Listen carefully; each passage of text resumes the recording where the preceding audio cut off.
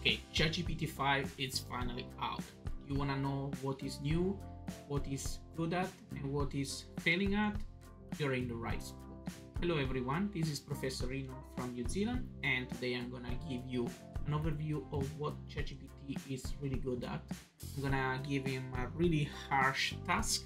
I know that any other competitor like Claude, Grok, and Gemini will be fairly good in uh, doing this uh, nasty task and it's about astronomy. I'm gonna ask ChatGPT 5 to generate a simulator of uh, the solar system and see how it performs about it.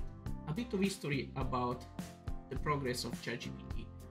When I started using it, it was version 3 and it had 170 billion parameters. So billion means 90 and it was pretty shocking and I was pretty amazed on the capability and the reasoning capability to give answers that look like humans. With ChatGPT 4, we have instead 1.7 trillion parameter, so it was 10 times bigger than ChatGPT 3.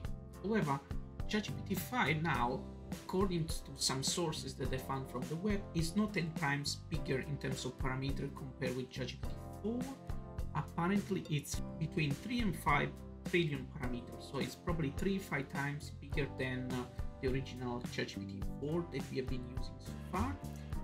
And uh, I'm really curious to see and how it performs with a really complicated task. They really advertise the capability of doing programming and it's really good at this and that. Until I don't put my hands on it, I won't be able to tell the truth about it. So let's go and have a look at it. Here we are, this is how the interface look like. They put a final bit of color to make it look a bit fancier and new compared with ChatGPT 5. You can see here you have the possibility to swap from ChatGPT 5 to the thinking model. I'm assuming that the think model it will be more capable to do handle really nasty stuff like the one that I'm gonna ask about the solar system.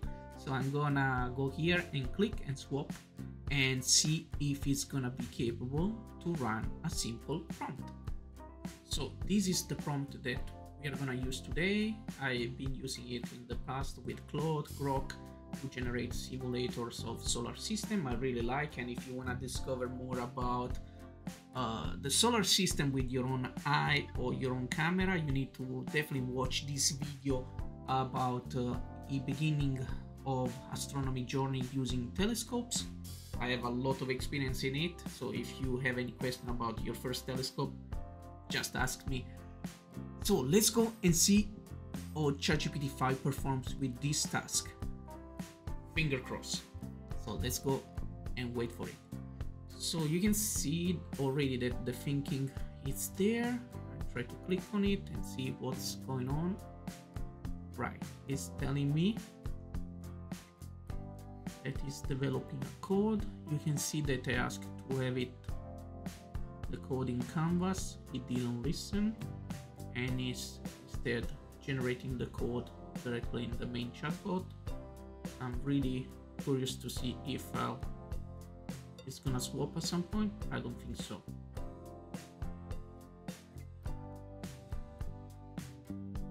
So it's asking me instead to save the code and test it on an independent page created by me. So I'm gonna copy and paste in a brand new HTML file and have a look at the results. Alright, you can see here the results. It's out there. It's pretty minimalistic. Let's go and see if we can swap from the 2D to the 3D. It doesn't seem to work. I'm gonna give ChatGPT another chance to make it work. So I'm gonna try to fix the problem that we have been just experiencing, asking to do also the 3D view and to have the code here in Canvas. I hope that I don't need to copy and paste once again an independent file. I really like, for instance, code that allow us to test this simple code right there without copy and paste back and forward. So let's go and have a look at the results finally is listening. Is opening it on canvas so I can later on run the code right here. So let's wait and see what the result is gonna look like. It seems that he has completed his task.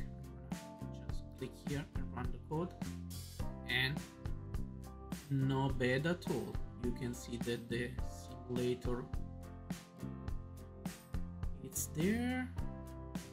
And he has a really nice visualization. Let's go and skip from 2d and 3d it seems that he is doing a pretty good job. Let's see if we can speed up the process. Really pleased with it. And just as a comparison I'm gonna open what has been the results done with Claude a few months ago. There we are. This was the results out of Claude and you can see here that the 3D visualization is pretty cool as well. And uh, I must say that this was pretty bad fail but this one start looking pretty awesome to me.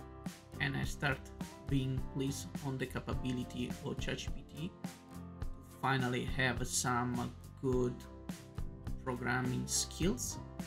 So not bad at all if you want to know more about ChatGPT if you want to know more about all the latest new about AI, don't forget to press like and subscribe we will be back here with many new video. Thank you for being with us today. So you can see that ChatGPT 5 is finally catching up with the Claude, Grok and Gemini is getting decent stuff out there up and running. I'm gonna spend more time and days testing it with more challenging tasks.